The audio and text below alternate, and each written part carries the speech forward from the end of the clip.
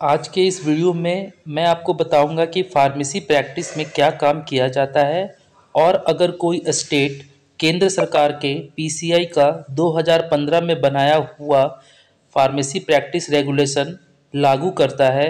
तो फार्मासिस्ट को कौन कौन सा फ़ायदा होगा? इसीलिए वीडियो को अंत तक ज़रूर देखें, क्योंकि यह वीडियो आपके लिए बहुत ज़्यादा इंपॉर्टेंट है, क्योंकि अब धीरे धीरे सभी राज्यों में फार्मेसी प्रैक्टिस रेगुलेशन 2015 लागू किया जाएगा और क्योंकि अब डिप्लोमा इन फार्मेसी में एग्ज़िट एग्ज़ाम आ गया है तो एग्ज़िट एग्ज़ाम से बहुत ही अच्छी क्वालिटी के फार्मासिस्ट हमारे मेडिकल फ़ील्ड में आएँगे और इसीलिए फार्मेसी प्रैक्टिस 2015 को लागू किया जा रहा है, जिसकी शुरुआत बिहार से हो गई है। इसीलिए अब सभी राज्यों में फार्मेसी प्रैक्टिस 2015 लागू किया जाएगा। आप सभी इस वीडियो को देखिए कि फार्मेसी प्रैक्टिस में एक फार्मासिस्ट को क्या क्या काम करने पड़ते हैं।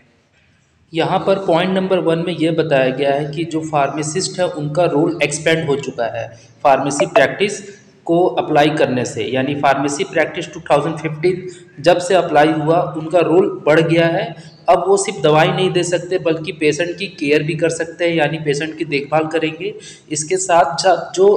नॉर्मल मेडिकेशन है, यानी कि जो दवाइयाँ वो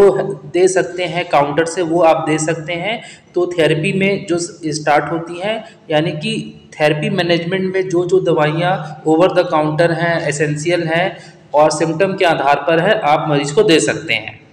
दूसरा पॉइंट दवाइयों की सेफ्टी से जुड़ा हुआ है। इसमें जो फार्मासिस्ट फार्मेसी प्रैक्टिस के अंदर में काम करते हैं, उनको नई टेक्नोलॉजी और नए प्रोसेस के ज़रिए दवाइयों की सावधानी पूर्वक और उसकी सेफ्टी को ध्यान से समझना पड़ता है और उसे इम्प्लीमेंट करना पड़ता है। तीसरे पॉइंट में यह बताया गया है कि समय के साथ साथ जिस तरह से मेडिकल के अन्य फ़ील्ड में डेवलपमेंट हुआ है, उसी तरह से फार्मासिस्ट में दवाओं का जो डिस्पेंस है, वो भी मॉडर्न तरीके से होगा और यहाँ पर दवाइयों को डिस्पेंस ऑटोमेटेड डिस्पेंसिंग सिस्टम के द्वारा होगा, जिसमें हो सकता है कि किसी रोबोट की मदद से या किसी आर्टिफिशियल इंटेलिजेंसी की मदद से दवाइयों को डिस्पेंस आपके द्वारा करवाया जाएगा हॉस्पिटल में।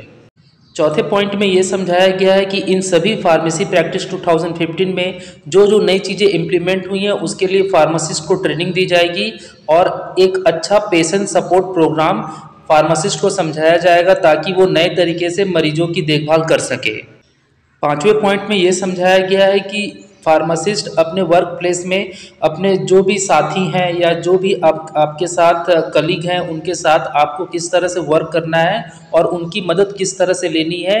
मरीज़ को अच्छा मेडिकेशन थेरेपी देने में और पेशेंट को अधिक से अधिक आउटकम मिल सके मेडिकल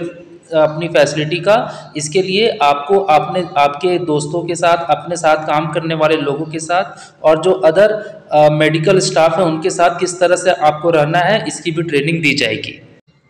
छठे पॉइंट में ये समझाया गया है कि क्रोनिक डिज़ीज़ जैसे कि डायबिटीज़ हो गई या और भी ऐसी क्रोनिक डिज़ीज़ जिसमें दवाइयों का सेवन मरीज़ को लंबे समय तक करना पड़ता है, उसके लिए आपको उसके मेडिकेशन को रिव्यू करने का अधिकार है और उसकी भी प्रैक्टिस आपको फार्मेसी प्रैक्टिस के अंतर्गत करनी है, जो 2015 में दिया गया है। सातवें पॉइंट में ये समझाया जा रहा है कि किस तरह से आपको कम्युनिकेशन डेवलप करना है। कम्युनिकेशन एक मोस्ट पावरफुल टूल है आपके लिए, जिससे मरीज़ को आप सेटिस्फाइड करेंगे। अगर आपके से कॉपरेट नहीं कर रहा है तो आपको अपने कम्युनिकेशन के बल पे ही मरीज़ को समझाना होगा और साथ ही साथ आपके साथ जो भी other medical health care worker है, उनके लिए भी आपकी कम्युनिकेशन बहुत ही सॉफ्ट होनी चाहिए और बहुत ही पोलाइट होना चाहिए। तो ये सारी training pharmacy practice regulation two में आती है। आठवें नंबर पॉइंट में ये समझाया गया है कि फार्मासिस्ट को अपने नॉलेज के आधार पर और टेक्नोलॉजी के आधार पर दवाइयों में जो गलतियाँ होती हैं, उसको कम से कम करना, इसकी भी ट्रेनिंग फार्मेसी प्रैक्टिस के अंतर्गत आती है। नौवें नंबर में समझाया गया है कि किस तरह से पुराने तरीकों को आपको हटा करके नए तरीके अपनाने हैं, यानी कि डिस्ट्रीब्यूशन का नया तरीका अपनाना है, नए मॉडल्स अपनाने हैं और डेवलपमेंट के साथ साथ आपको ये देखना है कि मेडिकेशन में जो स्पेशलिटी है, यानी कि जो दवाइयों में आपको नए नए प्रयोग करने हैं, उसके लिए किस तरह से नया डिस्ट्रीब्यूशन मॉडल आप अप्लाई कर सकते हैं।